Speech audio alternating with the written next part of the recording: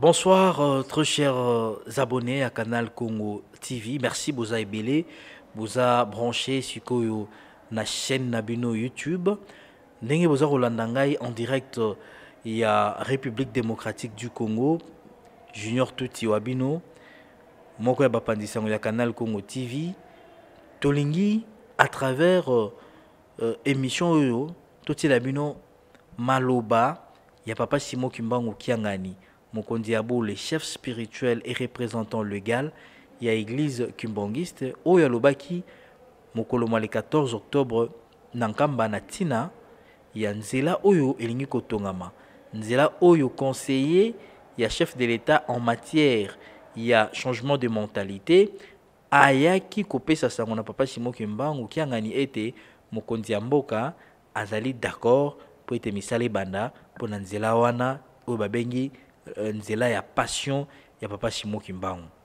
oyo abandaki koemprunte azalaki koleka ntango azali kokende mbanza ngungu ntango azali koluka kobima na kinshasa nzela azalaki koleka yango wana na makolo mpe makambo ebele ebele ebele esalema na nzela wana mikamwa ya kosakana te bajournaliste ebele bayaki na nkamba mpo na fete ya le 12 octobre batunaki ezali moko ya barare interview oyo mokonzi ya bule a accordaka na presse c'est vrai que ezwaka temps pour ke accorde interview na presse mais le 12 octobre oyo papa simo kimbangu kiangani ayanolaki na motuna ya bapanzi sango totiki bino bolanda yango na bokebi nyonso mpe nsima nde tokozonga mpo ete toyeba kopesa bino oyo bozali koluka oyo bozali na yango mposa tolanda nanu mokonzi wa bolei Papa mokonzi ya bule papa Simon Kimbangu Kiangani le 12 octobre ezali mokolo moko monene mpo na mokili mobimba pamba te ezalaki milulu mibale papa Simon Kimbangu fondateur ya église kimbanguiste atiki biso na Lubumbashi le 12 octobre 1951 Papa Simon Kimbangu, yo moko Molimo Santo Reincarnation, oyeli biso lisusu na 12 octobre 1951 awa na Nkamba. Na mokolo ya le 12 octobre tomonaki ete misala ya nzela ya mpasi papa oyo omonelaki mpasi mpo na kobikisa boso mwindo efongowaki mpo ete okosalema Chef de l'État Félix Antoine Tshisekedi Tshilombo andimi ete akoka koakompagne yo na misala nyonso, aappuye yo, asoutenir yo na misala nyonso ezali kosala na kati na lingomba. Presse internationale nationale locale tozali awa liloba na yo ezali nini na ntina likambo monene oyo ewutaki kosalema na mokolo molo 12 octobre 2020 maloba epai na bino papa lelo naza na esengo makasi wete le 12 eleki na biso na kimia alors misala mpe oyo tosali eke mokili mobimba ntina ezali tata kimbangu alobaka boye na 21 mosala oyo na ye nango tokokangama tokomona mpasi mpo ete bisengo ekoya liboso ezozela biso me tokokangama tokomona mpasi likambo wana mpe bakoko bamonaki mpasi bapapa batiki biso balobi oyo biso tosali bomoni yango oyo etikali botikala kosilisa yango kosala bongo feti oyo etali ke lingomba ezosala 100 ans ezala likambo monene oyo 100 ans nzambe asalaka likambo soki mpo tokokende ekozanga lisusu te ekozala ebele oyo tokomonela bolamu yango wana esengo naza nango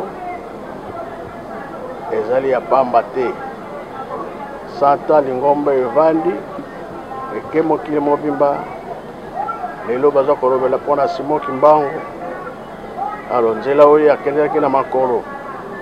chef de l'etat apesi biso yango tosala donc elekili ngai yango wana bino ozosala mosala oyo biso toza na esengo mpo na nini bondimi na bino Bopanza sango na mokili mobimba eza ya kolekela. Nakoloba ke na ntango ya Nkolo Yesu, nayebi te, tozalaka na biso te. Tomonaki ba Matthieu, ba Jean bazalaki kokoma Bible yango wana, oyo etikali alakisa biso yango mpo babombi biso trois quart trois quart tokozala ndenge ye moko alobaki yango na 21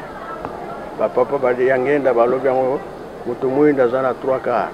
elakisi nini esengo na biso no tolemba te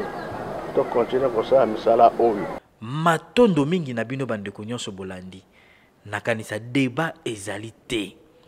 likambo oyo ya kotonga nzela ya nkamba elobama kala mais eza kokokisama lelo misala elingi kobanda nakanisa bino moko boyoki maye papa simo kimbangu kiangani alobi ye abeti sete ete bana na ye balemba te soki oyebi koza mwana na ye yo moko mitala eske oza kokoba to ozali kozwa bolembu Papa Simon Kimbangu Kiangani mokonzi ya bule alobi ete likambo wana ntango ekoki nazo koyebisa yo ndeko oza kolanda ngai maloba na ngai te eza maloba papa simon kimbangu kiangani boyebake touti mosika ndenge papa ayebisaka biso me botala tosika tozali kokende komi pembeni papa akordaka bainterview